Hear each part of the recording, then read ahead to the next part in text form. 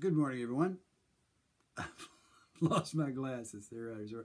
Welcome to Morning Hair. It's June 1st, 2017, the 152nd episode of Morning Hair. Remember, we're committed to doing one for every morning of 2017, and we've not missed a day yet. Uh, this is a great day, June 1st, because it was on June 1st, 1967, that these guys released Sgt. Pepper's Lonely Hearts Club Band.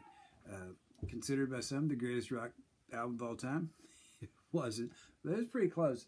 Uh, you know, I can remember watching the Beatles when I was like eight, the first time they played on the Ed Sullivan Show, and my brother and I had on our cowboy hats around our dad, and my sisters were in front, and they parked themselves in front of the TV at like three o'clock in the afternoon. And whenever Dad sent one of us to change the channel to some western he wanted to watch, the girls would start screaming, "Ah!"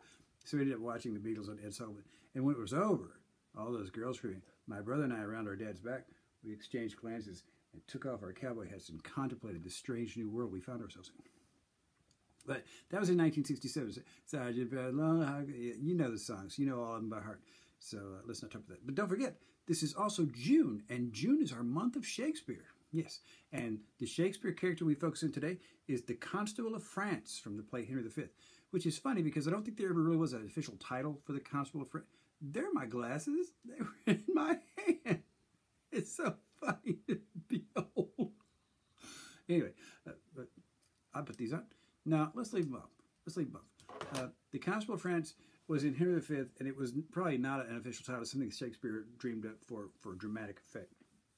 Uh, but I love the Constable of France, particularly the guy who played the Constable in the Kenneth Branagh 1989 version, whose name I can't recall, but I'll look it up. Uh, but uh, he had a great line where they're getting ready to charge down the English, and he says, Mark how our steeds for present service neigh. I always like that line. Uh, in fact, my fishing buddy Steve and I, we we would incorporate those lines into our fishing expeditions. You know, we sort of change the words a little bit, but the same.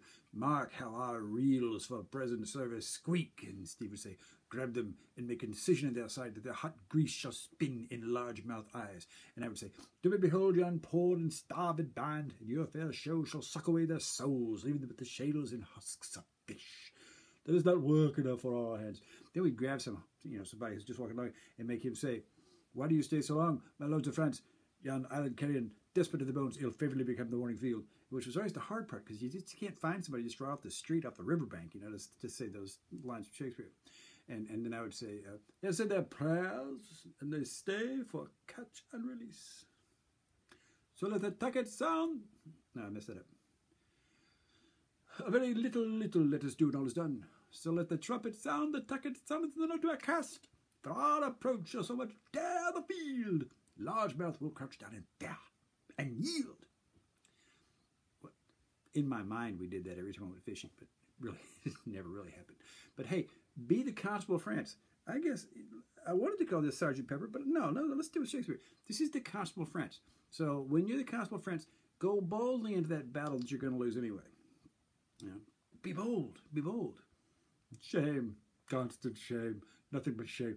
That's the worst that could happen, and most of us live with that kind of shame every day anyway. Hey, that's it for today. Tomorrow's June 2nd, uh, and it's National Donut Day. That's tomorrow, right? So go carb free today so you can glutton out tomorrow. Uh, I'll see you tomorrow. Bye.